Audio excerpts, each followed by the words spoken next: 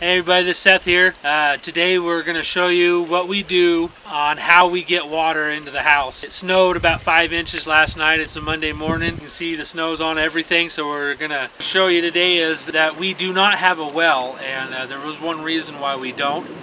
And it's, it's because it's a, a, money factor for us. We don't want to go out and get a loan for it.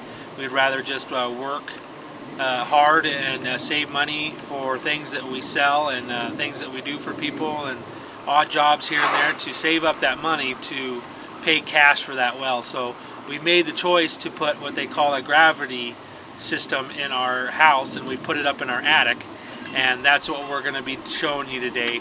The place that we go buy the water, we have a spring on the property but it's being prepped.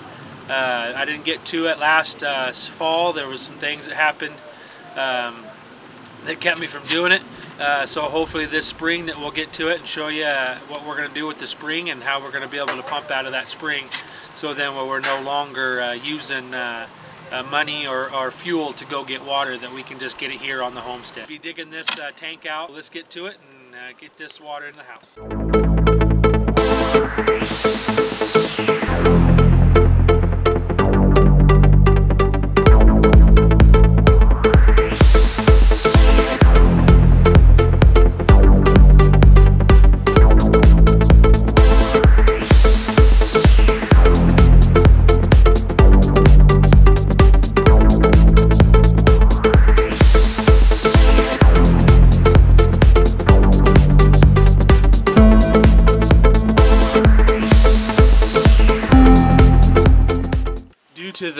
Warm winter we're having, it was a little frozen to the ground.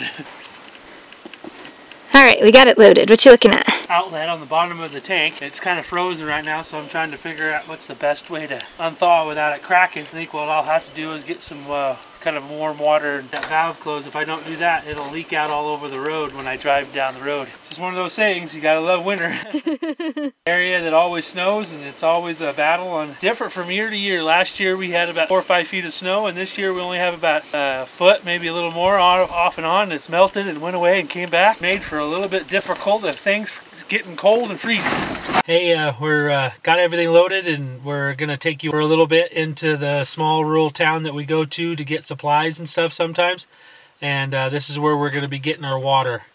So if, if I look like I'm a little bit of pain, uh, I slipped into the into the watering hole on Saturday and it kind of tweaked my back a little bit and just loading that tank kind of aggravated a little bit more. So if I don't have the chip in my step like I normally do, it's because I've got a little bit of a hurt back. But we're going to move forward. It's just something that happens and you just push through it and uh, you get things done.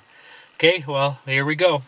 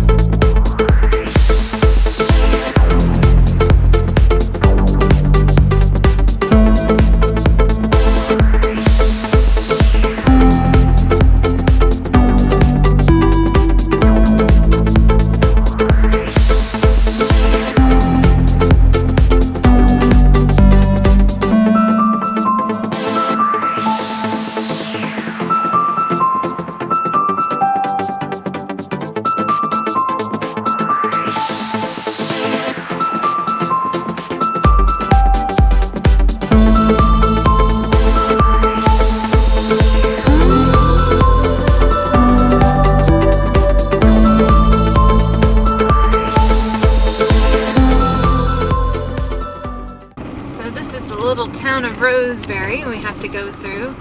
This is one of the original little settlements in our area.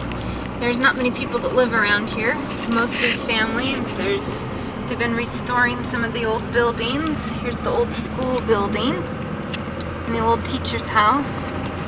And their goal here is they are a historical society now and their goal is to kind of preserve things um, the way it used to be. So this is where we uh, come into town and and uh, buy our water. It's it's kind of an interesting concept of having to buy water, but we found it a pretty good deal when uh, we approached the the city about buying water from them.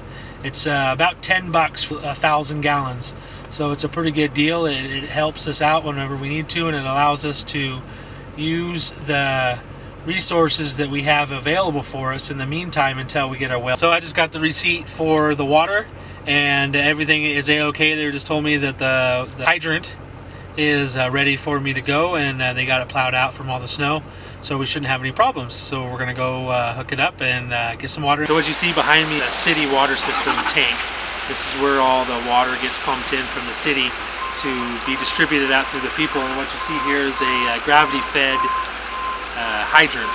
It has no pressure to it. It's not pressurized by a pump. It just comes directly out of the big tank here. And this is the tools that I use to the water to go into the tank. So this is a hydrant wrench and this is a three inch hose. So that's what I'm going to be doing is hooking up to it and getting the water.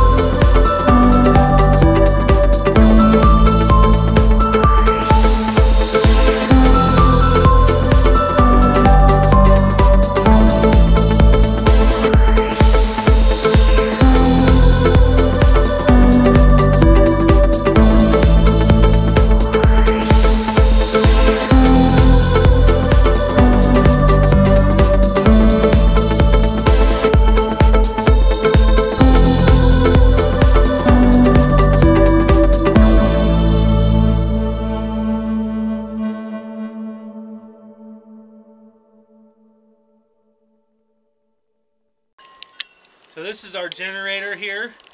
Um, this is where we uh, use the, the power to run our pump that will uh, push the, the water up into the tanks. So what we got here is a black hose, standard one, uh, inch hose, three quarter inch, excuse me, um, garden hose. So we retrofit it and cut it in half because it was such a long one that we could uh, splice it and we ended up putting uh, a couple new clamps on it and a couple uh, male and female ends to it and this will go from the tank to the pump. You want to always prime your your hose to get water in it. So it's got a little water flowing through it, so it'll help prime the a little bit of rust in it, so we'll kind of let it clean out a little. Now this will prime the pump, so this won't you'll have to manually do it. And then we have a spigot in here that we uh, plumbed in when we first uh, started building the house to know that this is where the water was.